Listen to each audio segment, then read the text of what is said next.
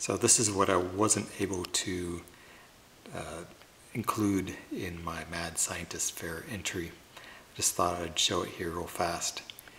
Uh, I've got the, here's my brain guy, and that's the central processing unit with the flashing LEDs. There's another cool little LED assembly there on the breadboard. But anyway, what I really wanted to show you was this tower, which I think turned out really well.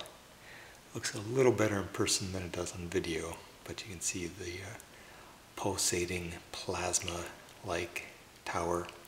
And those are just two uh, POM Wonderful pomegranate juice bottles uh, glued together and a light tree of red LEDs and a fading, alternating fading circuit.